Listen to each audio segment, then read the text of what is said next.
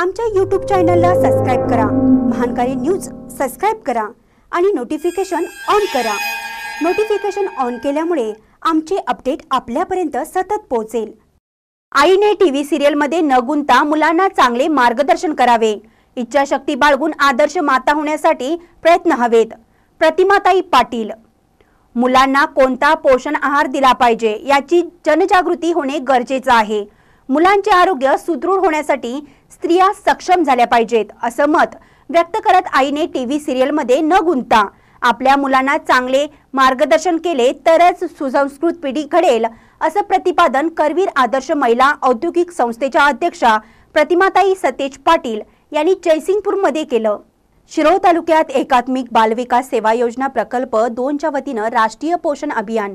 एक सप्टेंबर ते तीस सप्टेंबर या कालावधीत बीटनुसार राबवण्यात आला आहे. त्यानुसार सोमवारी जयसिंगपूर येथील जे जे मगदूम इंजिनिअरिंग कॉलेजमध्ये तालुकास्तरीय पोषण आहार मार्गदर्शन आणि टी एच आर पाककृती प्रदर्शन अशा संयुक्त कार्यक्रमाचं आयोजन करण्यात आलं आहे. या कार्यक्रमात शिरोळचे आमदार उल्हासदा पाटील कोल्हापूर जिल्हा परिषदेच्या महिला बालकल्याण सभापती वंदना मगदूम पंचायत समिती सभापती अर्चना चौगुले आदींची प्रमुख उपस्थिती होती. यावेळी बोलताना प्रतिमाताई पाटील म्हणाल्या बाहेरचं फास्ट फूड खाण्यापेक्षा आईनं बनवलेला पोषक आहार खाल्ला पाहिजे.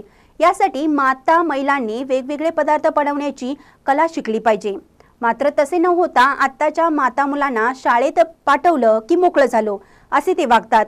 पुढे बोलताना त्या म्हणाल्या आम्ही अनेक सामाजिक कामं केली आहेत. जिथं तुम्हाला मदत लागेल तिथं आम्ही मदत करायला तयार आहोत अशी ग्वाही त्यांनी यावेळी दिली. तर कोल्हापूर जिल्हा परिषद महिला बालकल्याण सभापती वंदना मगदूम म्हणाल्या जिल्हा कुपोषित मुक्त करायचा आहे यासाठी सर्वांनी एकत्र येऊन सहभाग घेतला पाहिजे. गोष्टीचं ज्ञान असणं किती महत्वाचं आहे? तर आम्ही देखील तसं बघायला गेलं तर पंच्याहत्तर टक्के गोष्टी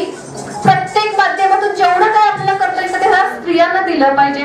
त्या सक्षम झाल्या तर पूर्ण समाज आणि पूर्ण कुटुंब सक्षम व्हायला वेळ लागणार नाही. त्यामुळे एक आदर्श आई काय असली पाहिजे? एक आदर्श पत्नी कशी असली पाहिजे?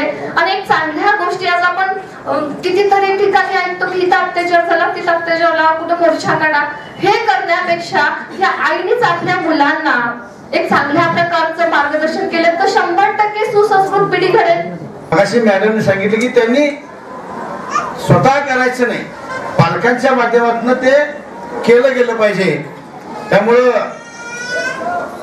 त्या त्या वेळच्या शिबिरापुरता हा कार्यक्रम मर्यादित राहू नये.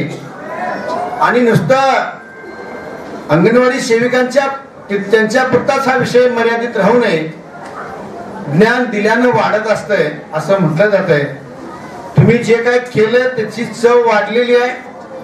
जरा जनरल आमच्यासारख्या घरातल्या महिलांना जरी आपण ते सांगितलं की ताई वहिनी अक्का मावशी काकी जे काय असेल ते तुम्ही करतात ते खाऊन बघा आणि आम्ही केलंय हे पण येतात जरा टेस्ट करून बघा.